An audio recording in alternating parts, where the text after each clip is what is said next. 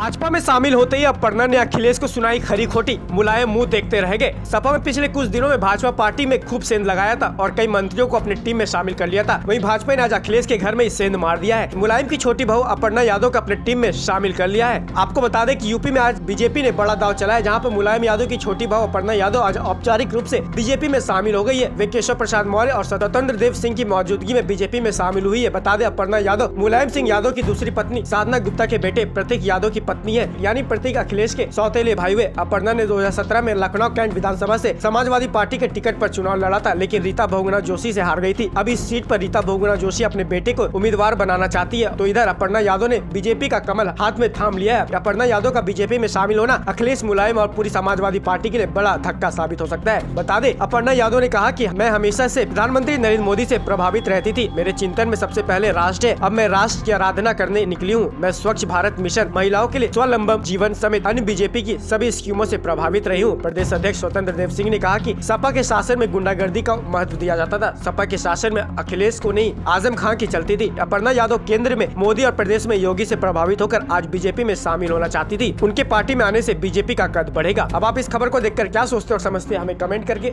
ज़रूर बताएँ।